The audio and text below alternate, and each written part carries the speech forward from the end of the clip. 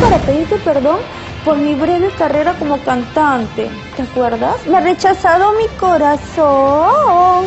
Ese chico de ahí me recha, me recha, me ha rechazado mi corazón. Tienes tu pin, tienes tu pin, pinta de seductor. Para mi cu, para mi cu, cuerpo bien hermoso. sí. No desaprovechó su visita a Huancayo para disculparse con todo el Perú.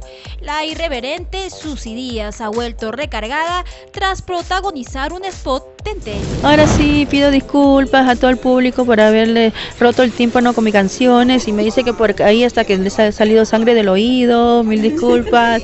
Así que bueno, ahora sí voy a eh, llamar a, a todo el país porque ahora como tengo este, este operador puedo llamar indefinidamente a cualquier operador.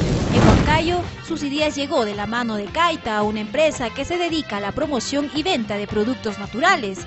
Susy está más chocha que nunca, pues ha sido abuela por segunda vez. Ay, mira, tú sabes que Forcita quería tener otro hijo y con Néstor y Claudia les regala bastante maca negra y gracias a la maca de Caita, Forcita acaba de dar a luz, entonces tengo mi segundo nieto, sí, así que es, es una maravilla la maca de Caita, es este una potencia para que también les dé energía, para las personas que no pueden salir embarazadas. Antes de despedirse, Susy Díaz nos envió un saludo por nuestro nomástico.